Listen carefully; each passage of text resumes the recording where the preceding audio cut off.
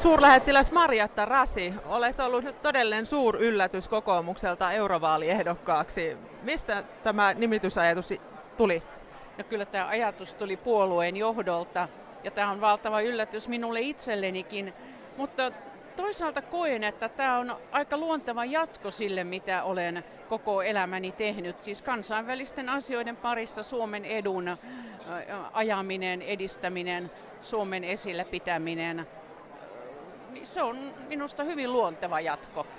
Jäit Viinin lähettilään paikalta eläkkeelle viime syyskuussa.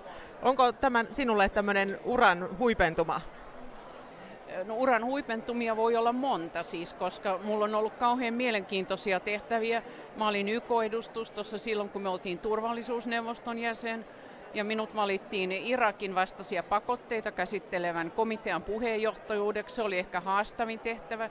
Sitten kun olin YK-edustuston päällikkö, olin YK talous- ja sosiaalineuvoston ensin varapresidentti, sitten presidentti ja minulla on hirveä määrättä. Ja Viinhän on sillä tavalla mielenkiintoinen, että se on sekä kahdenvälinen suurlähetystö että monenvälinen, koska Viinhän on myös yksi YK päämajakaupunki, missä ehkä poliittisesti haastavin ja kiinnostavin järjestö on kansainvälinen atomienergiajärjestö, koska se on niin poliittinen.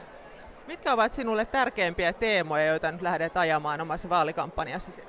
No mä haluaisin siis ihan selkeyttää tätä, että mietti, olen miettinyt sitä, että millä tavalla me saadaan tämä EU-kriittisyys niin kuin, äh, ehkä ainakin semmoiselle realistisemmalle pohjalle, että ihmisillä on ihan oikein syy olla kriittinen, koska kriittisiähän me voidaan olla.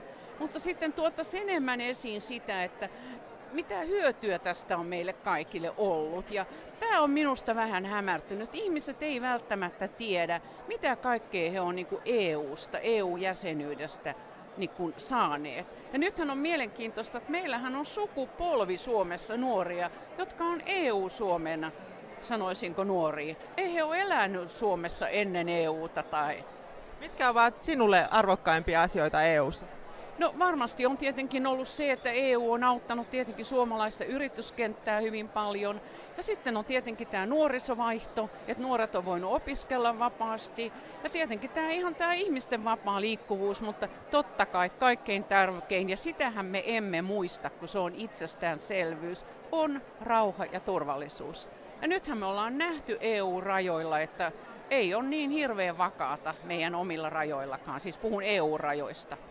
Miten arvioisit globaalipoliittisesti EUn asemaa tällä hetkellä? Olet toiminut muun muassa YKssa Suomen edustajana, niin millaisia mielialoja siellä esiintyy tai asenteita EUn toimintaa kohtaan?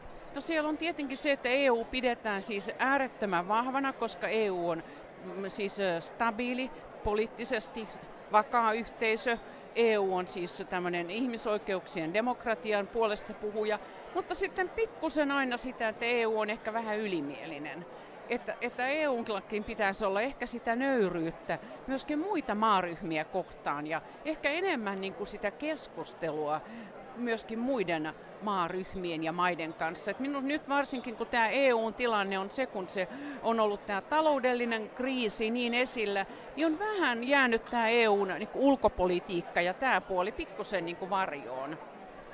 Oletko tämän entistä tiiviimmän yhteistyön kannalla esimerkiksi juuri ulkopolitiikan saralla? Siis, siis mä olen sitä mieltä, että kyllä EU pitää niin kuin ulkopolitiikassa ö, olla niin kuin hyvin tärkeä tekijä, koska siis EU on, niin kuin sanoin, se on valtava voima, sit kun se saa, niin kuin sanoisinko, rivinsä kasaan ja, ja pystyy yhdessä toimimaan, niin se on, se on valtava.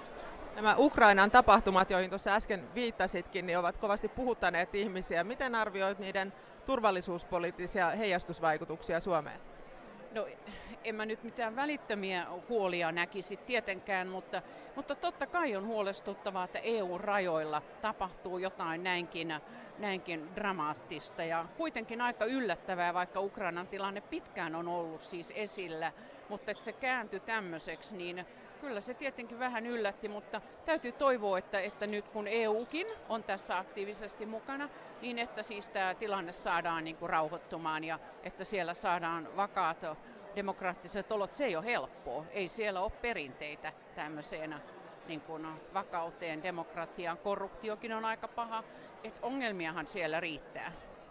Mitkä ovat sinun tärkeimpiä vahvuuksiasi ehdokkaana? No kuten sanoin, niin varmasti se, että, että olen äärettömän hyvä neuvottelija ja semmoinen suostutteleva neuvottelija, että yleensä kun mä olen noissa foorumeilla, missä olen kaiken näköisissä neuvotteluissa ollut, niin minulla on niin vankka asiaosaaminen ollut, että mä oon pystynyt siis tarjoamaan niin monta vaihtoehtoa tavallaan erilaisia heti vetämään, että jos tämä ei kelpaa, tämä, ja ne on kuitenkin kaikki itse asiassa sitä samaa, mutta sitten tämä toinen puoli alkaa jo väsyä, että joo, kyllä tämä on varmaan hyvä.